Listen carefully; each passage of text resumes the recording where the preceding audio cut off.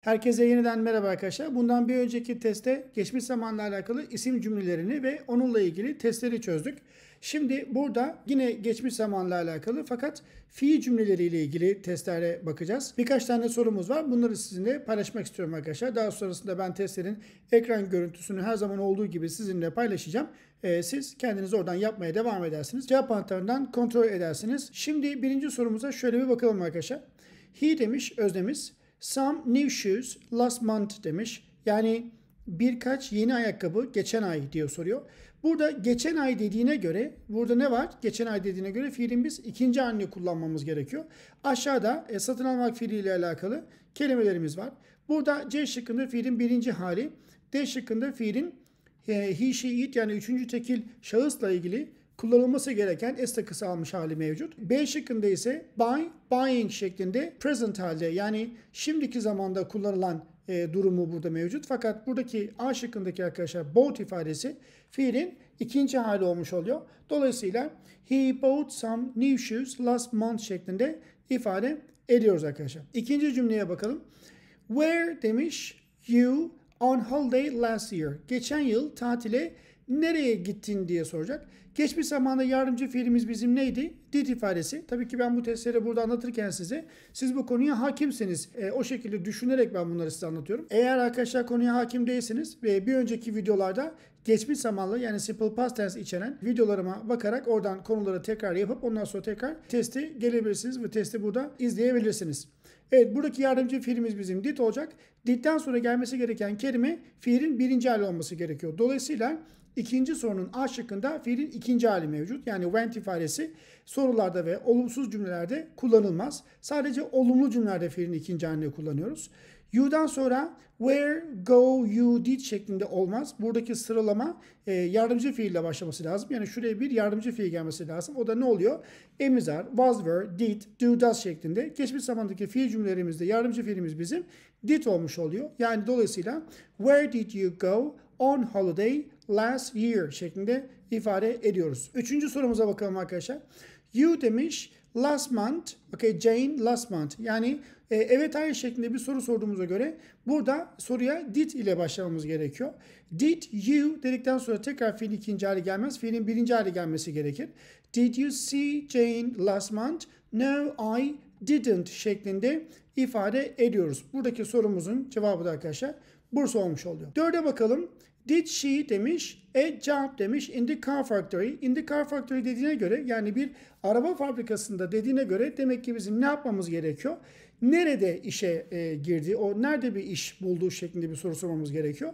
O soruyu da arkadaşlar nerede ifadesini where did she get a job diye soruyoruz. Buradaki get fiilin birinci hali yine aynı şekilde fiilin ikinci hali burada olmaz. E, when ne zaman, who, kim ifadesi olmuş oluyor. E, dördüncü sorumuzun cevabı da arkadaşlar Denizli olmuş oluyor. Where did she get a job şeklinde ifade ediyoruz. Beşe bakalım. Max didn't dedikten sonra demek ki fiilin tekrar burada biz birinci halini kullanmamız gerekiyor. Dolayısıyla C şıkkını ve D şıkkını kafadan eliyoruz arkadaşlar. Çünkü orada fiillerin ikinci hali var. Went, go fiilin ikinci halidir.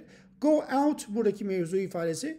Where Max didn't go out yesterday afternoon. Yani Max dün öğlen dışarıya çıkmadı diye söylüyor. He ne yaptı? Evde kaldı diyeceğiz. Geçmiş zaman kullanmamız gerektiği için burada tekrar fiilin ikinci halini kullanacağız. Stay fiilinin ikinci hali ed alıyor. Yani düzenli bir fiil olduğu için Max didn't go out yesterday afternoon. He stayed at home şeklinde doğru cevabımız arkadaşlar burada Adana olmuş oluyor. Altıya bakalım. Jeffrey demiş. French before demiş. Şimdi study e, didn't şeklinde bir sıralamamız e, maalesef yok.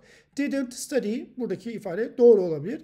Didn't study'den sonra yani didn't'tan sonra tekrar fiilin ikinci hali gelmez. Dolayısıyla Denizli'yi ve Adana'yı e, komple sildik. Şimdi şuraya bakalım. Bursa'ya bakalım mesela. Bursa da değil cevabımız. Neden değil ona bakalım. But he demiş. He'den sonra gelmesi gereken fiil study.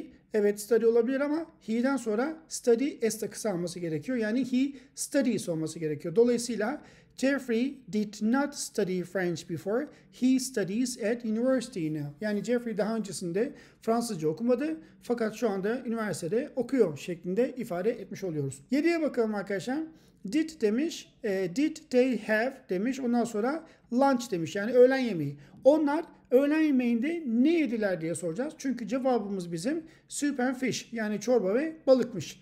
Onlar öğlen yemeğini ne yediler diye sorarken arkadaşlar burada what diye soruyoruz. What did they have for lunch diye sormamız gerekiyor. Çünkü öğlen yemeği için ne yediler şeklinde soruyoruz. Yani öğlen yemeğinde değil de öğlen yemeği için ne yediler diye e, sormamız gerekiyor. İngilizce kafasına göre düşündüğümüz zaman arkadaşlar burada cümlemize for gelmesi gerekiyor. Biz Türkçe'de öyle sormuyoruz. Biz kahvaltıda ne yedin diye soruyoruz ama onlar kahvaltı için ne yedin diye soruyorlar. Dolayısıyla biz cümle kurarken onların kafasına göre yani bir İngilizce ya da bir e, Amerikalıların düşünce mantığına göre bizim düşünüp cümleleri ona göre kurmamız gerekiyor. Eğer biz Türkçedeki söylediğimiz gibi söylersek eğer muhtemelen yanlış ifadeler kullanmış oluruz. Sekizinci soruya bakıyoruz arkadaşlar. Where demiş you last week. Ne demek bu? Geçen hafta sen nereye gittin ya da neredeydin diye soracaksak eğer burada çünkü bir isim cümlesi bu. I demiş in Alabama. Yani ben Alabama'daydım diyor. Where you olduğuna göre yardımcı fiilimiz burada ne olacak arkadaşlar? Where olacak. Where were you last week? Sen geçen hafta neredeydin? I demiş in Alabama diyor. I'dan sonra gelmesi gereken yardımcı fiil were olmaz. Is olmaz. Burada tekrar were ifadesi e, mevcut. Burada o zaman ne oluyor arkadaşlar? Doğru cevabımız bizim Ceyhan olmuş oluyor. Yani where were you last week? I was in Alabama diye söylüyoruz. Dokuzuncu cümlemize bakalım.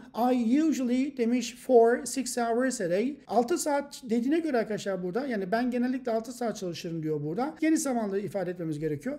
Dolayısıyla buradaki ifade geçmiş zamanlı bir ifade olmaz. I öznesinden sonra fiile s akısı gelmez. Dolayısıyla fiilimiz bizim burada work olması gerekiyor.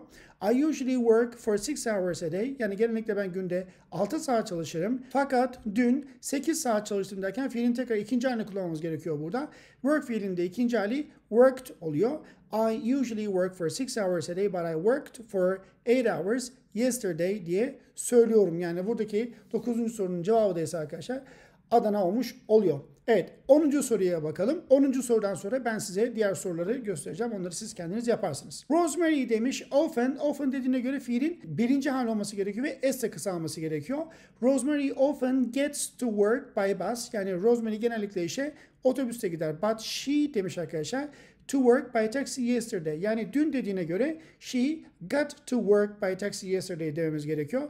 Dolayısıyla buradaki sorumuzun cevabı da arkadaşlar Bursa olmuş oluyor. Yani Rosemary often gets to work by bus but she got to work by taxi yesterday diye ifade ediyoruz arkadaşlar. Evet şimdi şöyle yapalım. 11. sorudan itibaren 16'ya kadar siz böyle bir bakın. Evet bunları cevaplandırdıktan sonra yani öznelerin tekil mi çoğul mu olduğuna, cümlenin geniş zaman mı geçmiş zaman mı olduğuna dikkat ederek bunları yapmaya çalışın arkadaşlar. Şunlara bakalım şimdi mesela 17. sorudan itibaren 25'e kadar bunları tekrar siz kendiniz yapın arkadaşlar. 25'ten şöyle 26'ya kadar 35'e kadar mesela şey pardon 26'dan evet 26'dan 35'e kadar bunları da siz kendiniz yapın arkadaşlar. Burada bazı kelimeler var. Mesela şurada 31. soruya bakalım. She thinks her past life diyor. She thinks about arkadaşlar. Buradaki think about ifadesi. Ondan sonra he was tired of. Uh, he was tired of politics. O politikadan bıkmıştı demek. Tired of politics. Bunlar propositional phrases oluyor arkadaşlar. Yani tired of, think about bunlar hep böyle beraber kullanılan ifadeler olmuş oluyor. Mesela she died in a car crash diye söylüyoruz. She died in a car crash. Sonra afraid of diye söyleniyor. People were afraid of her diye söylüyoruz mesela. Afraid of. Bunları siz nasıl öğreneceksiniz? Bu soruları yaptıktan sonra soruların cevap anahtarını e, kontrol edip soruları işaretleyip bir kağıda bunları not alın arkadaşlar. Ondan sonrasında bunları sürekli tekrar edin ki aklınızda kalsın. Şöyle yapalım. 40. sorudan itibaren e, aşağıdaki 49'a ee, kadar bunları tekrar siz kendiniz yapmaya çalışın. Sonra 50'den de tekrar şuraya kadar arkadaşlar. Bunları da 58'e kadar şöyle yapayım ben size. 58'e kadar bunları da siz kendiniz yapmaya çalışın arkadaşlar. Videoları biraz e, kısa tutmaya çalışıyorum. Siz sıkılmayın diye. Anlayamadığınız yerler olursa e, sadece yorumlara soru numarasını yazarak Diyebilirsiniz ki mesela işte 53. soruyu ben işte do yaptım ama e, go olması gerekiyormuş. Niye öyle? Ya da işte 55. soruyu ben A yaptım ama C olması gerekiyormuş. Niye öyle şeklinde bana yorumlarda yazabilirsiniz. Ben de size açıklamalarda bulunabilirim arkadaşlar. Merak etmeyin. Burada hep beraber bir şeyler öğreniyoruz. Kimse utanmasın, sıkılmasın. Hani benim videolarımın altına yorum yazın diye ben böyle şey yapmıyorum. Yani isteyen yazsın, isteyen yazmasın da bir şey olursa, bir sormak istediğiniz bir şey olursa oradan sorun. Başka bana nereden soracaksınız yani? Tamam arkadaşlar. Evet şimdi 50-58'e kadar bunları siz kendiniz yaptınız. Ben de şimdi bunun cevap anahtarını sizlerle paylaşıyorum. Bir sonraki konuda görüşmek üzere arkadaşlar.